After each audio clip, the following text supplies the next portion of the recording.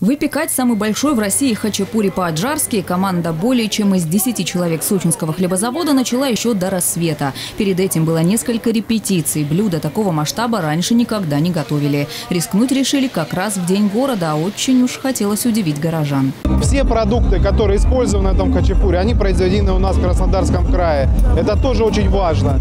Э, нашими руками наших сочинцев, наших хлебопеков, из наших родных продуктов, из нашей муки, из нашего сыра, из нашего сливочного масла, молока, которое все произведено здесь, в Краснодарском крае. Мы спекли этот хачапури. Готовый хачапури стал настоящим тяжеловесом. 37,5 килограммов, около 2,5 метров в длину и почти полтора в ширину. Для приготовления потребовалось 12 килограммов муки, 16 килограммов сыра и 100 яиц. Сочинцы признали, это самый большой хачапури, который им приходилось видеть. Это подтвердили и настоящие специалисты среди достижений хачапури Сочинцев Сочинского хлебокомбината вошел в Книгу рекордов России. Рекорд на самый большой хачапури в России, он впервые поступил в Книгу рекордов России. Заявка на рекорд. Вот поэтому подобного с хачапури связанного не было.